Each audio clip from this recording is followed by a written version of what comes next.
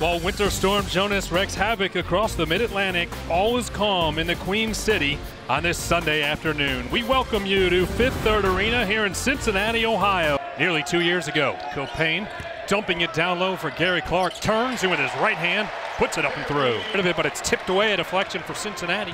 And with an early lead back to the offensive end, nothing but net from Farad Cobb, a senior who's having a fantastic year. Their team almost 30 minutes in.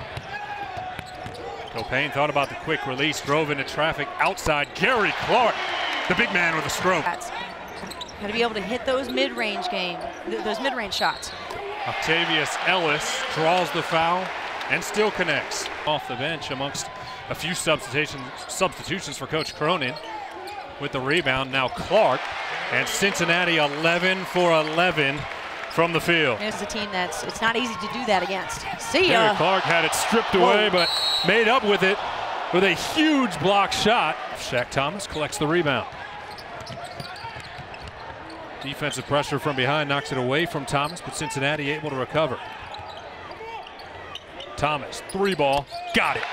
Justin Jenifer, freshman point guard over to Jacob Evans, a fellow freshman, nothing but net. Need to be able to find somebody down low. Do this, little alley-oop action, never hurt anybody. That's what the Bearcats can do. They can break it open. Can end up around 15 and 10. Rod Cobb from way downtown sinks it. Doesn't go through, and Cincinnati back to the offensive end. Cobb, another long three-pointer. Three points, seven rebounds, and that trio, 17 of 23 shooting the basketball.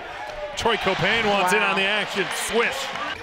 Not, not going to get into the paint with the trees down there, so Gary Clark will spot up on the free throw line. Nothing but net. And the whole pay, pay players discussion right now. Dunked by DeBerry. Big right Two hand. big guys. You got. It where's your body down? Tulane actually traveled here to Cincinnati on Friday.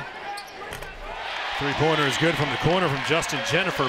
With four hey, minutes without scoring. Cold, cold sometimes. They still have 85 with a hair over seven minutes to play. Right, and, and most of your bench guys in the game. Evans down low. Plays for him, Brooke? Might as well. I'm trying to post him up right now.